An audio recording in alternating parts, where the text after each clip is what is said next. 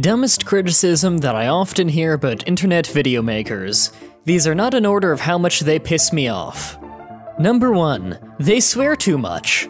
I'm sure this isn't exactly going to be a mind blowing statement unless you're one of the peons who try and argue the previously stated point, but no. Swearing often does not make you stupid, nor does it cheapen whatever is going on. To quote Stephen Fry, the sort of twee person who thinks swearing is in any way a sign of a lack of education or of a lack of verbal interest is just fucking lunatic. There are simply people who swear a lot in some settings, with one of those settings being in their videos. Yes, there are people who play up swearing in uncreative ways simply to garner attention, but I'd have the exact same issue if they played up any other words uncreatively just to garner attention. These cusses just happen to make the children they aim their content at giggle. If you talk to me in a social setting, you'll know that I myself, like many people who grew up in southern Ontario, swear like a fucking pirate. I use the word fuck or fucking to punctuate most statements, as well as including things like asshat, fucking prick, shithead, or cunt in most personal insults that I throw. However, again, like many who grew up in southern Ontario, I have very good control over it and can easily not swear if in a setting where I should not swear or don't want to swear. Hence why you can watch entire Let's Plays of mine in games where I'm being less jokey, and I'll swear little F at all instead of almost every sentence. Case in point, whether or not you swear in a video doesn't make it any better or worse itself, it's how you use it if you choose to use it. Number 2. This video is too long. I'm more so directing this at people who watch Let's Plays or playthroughs than any other kind of video. Let me talk directly to the people who complain about a video being too long for a moment. You're using Google Chrome, right? Well, if you aren't, then fix it, because it's by far the best damn browser out there right now. Using it now? Good. Click the three horizontal lines in the top right corner, just below the close button. Click on Settings. Near the top, you'll see the On Startup section tick off Continue where I left off. From now on, every time you open Google Chrome, it will automatically open all the tabs you had when you closed it. Now let's say you're 20 minutes into a 40 minute video and you're going to go do something else for a while and you want to close your browser. Right click on the video and copy the URL at that time code. Paste it, go to it, now close your browser. When you open your browser again, it will skip right to where you left off. Problem solved. Be happy that it's not one of those self centered fuckbags who upload all of their videos in 11 minute chunks, because that's the shortest you can make them while still being able to put the max number of advertisements on them. 30 seconds pre-roll for 20 minute video is perfectly fine. 30 seconds pre-roll and 30 second mid-roll with a banner ad during and post-roll ad during an 11 minute video is in fucking excusable. Number 3. If you don't like it, why don't you make something better? I get a lot of this on my creepypasta readings telling me that I have to write a better story rather than dare bring up legitimate problems with their favorite ones. But I see this all the time when someone simply brings up a problem in a YouTube video. This is one of the dumbest arguments I've heard that is common on YouTube, as if you put more than two seconds into thinking about it, it completely falls apart. Look at any professional critic of anything movies, food, music, anything. The mass majority of them aren't filmmakers, chefs, or musicians. They specialize in analyzing and critiquing, not in making themselves. Roger Ebert, the world's most respected and valued movie critic, was not a filmmaker. If you are just mad that someone is pointing out the legitimate flaws in your favorite thing, come up with a real argument or grow up. If you are so stupid and emotional as to use this weak ass argument, then you are too stupid and emotional to see the flaws in it in the first place. Number 4. They're just doing this for the money. Okay, anyone who is actually just doing this for the money is a complete idiot who spent no time at all looking into what you get paid for this. Not only do you get paid far less than one penny per view, but the view isn't even worth anything if either they have ad block on or if they just skip the ad right away. On top of this, getting internet famous is both an insane amount of hard work and requires a hell of a lot of luck. If you're looking at all of the views I get and thinking, man, he must be living comfortably, think again. At the time of writing this, I work roughly 30 to 40 hours a week on this show, yet only get paid about as much as 10 hours of work minimum wage. A month. Keep in mind also that my job requires a hell of a lot more skill and dedication than your average minimum wage job. This isn't because any company is screwing me out of money, it's because you aren't going to be making any kind of serious money off advertisements on YouTube videos unless you bring in tons of views every day. Number 5. I don't like this person because they asked me not to use ad block when watching their videos. This ties into what I said before. If you had ad block turned on when you watch a YouTube video, the user who uploaded the video does not get paid. They also don't get paid if you skip the advertisement after only 5 seconds have passed. You know those advertisements you can skip after 5 seconds?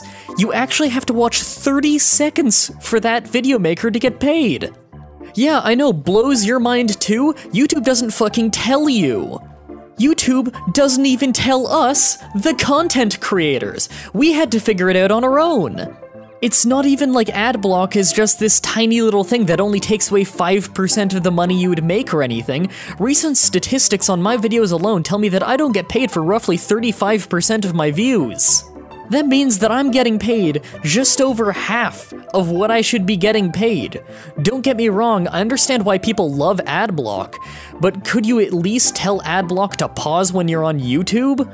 People are trying to make a legitimate living here as online directors giving free entertainment. We need to fucking eat. I use AdBlock too. Everyone uses AdBlock, but it's to block the kind of stuff, like when you go on those download websites to get something and it's covered in fucking annoying banner ads everywhere. Really, the biggest problem with AdBlock is that people aren't educated on AdBlock. The common person has never been taught that if they don't see the advertisement, the person doesn't get paid, and thus, they might not even be aware that when they watch the people that they love and that they want to support for free, because they might not have money that they want to donate to the person or can donate to the person, they might not even know that by having AdBlock turned on, they are taking money almost out of the pocket of that person, and the money goes nowhere. I blame YouTube for this one, honestly, because they're aware that this is not common knowledge. The average person does not know every little detail about how advertising payments work, but YouTube does nothing to fucking educate the masses, and this is how YouTube makes its money, not just the, the video makers. So it's insane, both on themselves being the greedy bastards that they are not teaching people, and it also hurts us, the content creators who are trying to make a living here. Don't get me wrong, I would do these videos even if I didn't get paid. I love doing these videos, but you'd see a hell of a lot less of them, because time is money, and at a certain point you have to say, I've got to dedicate less time into this thing because it's making me no money, and I need to eat. The microphone I have isn't free. The microphone I have was $300 after shipping and taxes and it just being an expensive microphone. The pop filter I got was another $15. My keyboard was almost $200 because I needed a nice professional keyboard. I'm gonna need to get a new mouse soon, that'll be a good 50. My computer, I built it years ago and with all the part replacements I've done since then and all the ones I need to do now. As it is, this computer has cost me a total of 2,500-ish dollars, and believe me, right now I'm saving up for a new graphics card because I'm telling you, mine is end of life. So remember, when a YouTube video creator just politely asks, hey, just consider turning off your ad block on YouTube, really do consider it. They're not being greedy bastards, they're being reasonable. Number 6. Get a real job. This is a real job, we're freelance online directors. Just like television, we make video audio content that is mostly funded by advertisements so that it doesn't cost the viewer to watch. The only difference is that we are in new media. We don't have high budgets and companies of hundreds of people, it's often just one person doing all of the recording, editing, and uploading.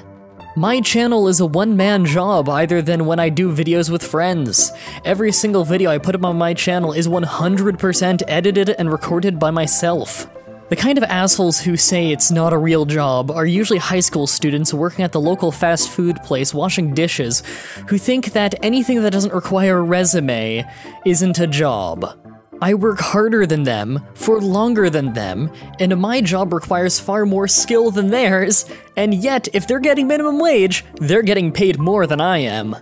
Everyone knows how to wash dishes. Editing a video and recording things to edit in the quality that I do requires you actually study what you're doing.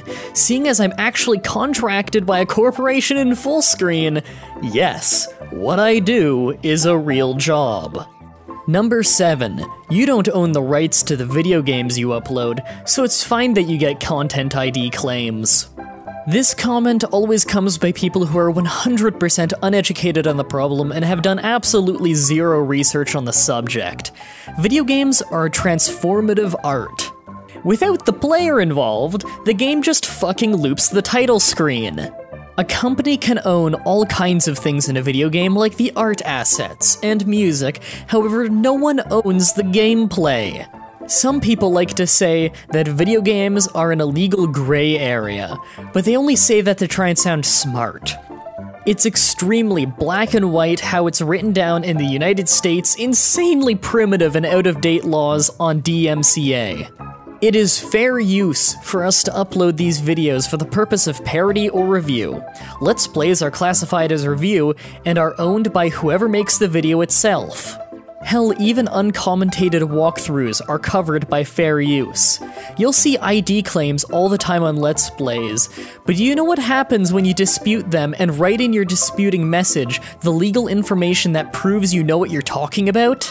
Nine times out of ten, they back down and get rid of the claim because they were just banking on you not knowing what you're talking about.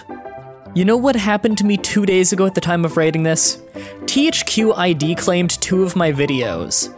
Not only was it completely within my rights for me to make those videos, and they were false claims, but THQ declared Class 1 bankruptcy more than half a year ago. They do not exist anymore.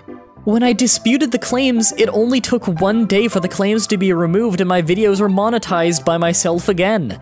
How the fuck a company that does not exist anymore could both claim something and remove a claim, I have no idea. It just shows you that yes, we own this content, and yes, YouTube's ID claiming system is completely 100% broken. Lastly, number 8, you'll never go anywhere on YouTube. I was told this from the very start that I'll never go anywhere, that everything I make sucks, that they could get so much more popular than me in a week, that they'll always be bigger than I am. I've surpassed many of them, but I still have so many more of them to prove wrong. I think all I need to do is go back to my roots and quote someone very inspirational to me and Michael Manna. I'll show you. You'll see.